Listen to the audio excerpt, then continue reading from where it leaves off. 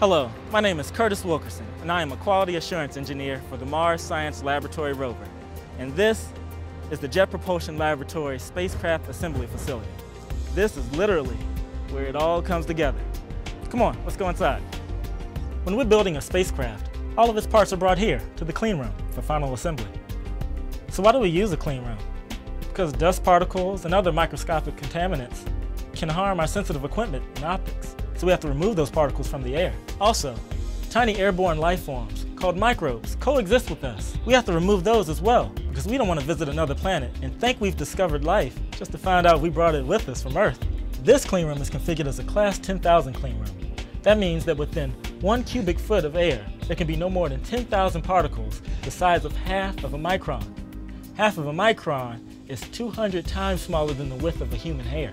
Now, if 10,000 sounds like a lot, by comparison, the room that we're standing in has nearly 500,000 to a million particles within one cubic foot that are larger than half a micron. So where do all these particles come from? Well, most of them come from us, the people. Things like skin flakes, our hair, cosmetics, even the lint on our clothes.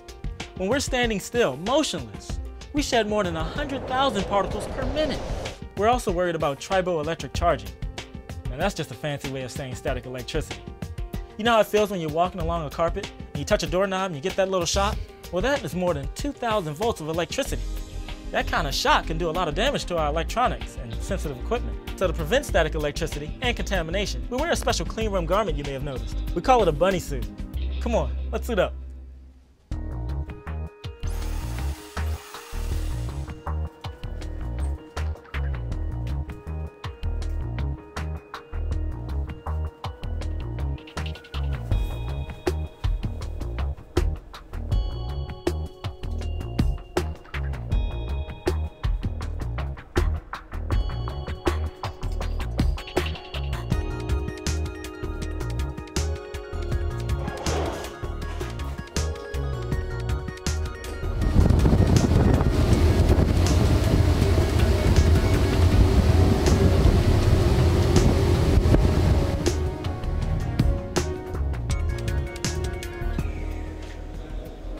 Inside the clean room, the air is kept clean by a special ventilation system. On this side of the room, air is blown in while existing air is sucked out on the north side of the room. It's then recirculated through HEPA filters and carbon filters before being blown back into the clean room. We also move our heavy equipment with large cranes. The crane above us has a capacity of 15 tons. Inside the clean room, we're building the Mars Science Laboratory, the next rover going to Mars. We have four large components in here today. Behind me is the back shell. During our 10-month cruise, this will be the home of our rover.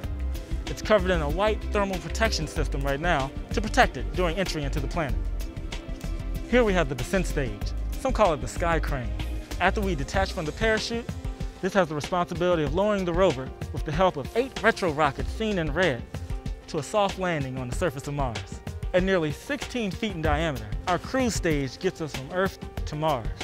With solar panels on the top, we have power antennas pointing towards Earth, we have communication, and with the little rockets in the corner in red, we can make small trajectory maneuvers during our cruise. And here's the reason we're going to Mars, the Mars Science Laboratory rover, the largest rover this planet has ever sent to Mars.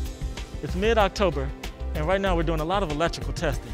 But the closer we get to our launch date, we'll start adding our wheels and our mast with the cameras, and then the robotic arm. They'll really start to take form. Once we're finished with all our assembly and tests, we'll pack it up and ship it to Cape Canaveral, Florida at Kennedy Space Center. We'll go through even more tests before we stack it on a rocket and launch it to Mars. I gotta get back to work, but I hope you enjoyed your tour. From NASA and JPL, I'm Curtis Wilkerson.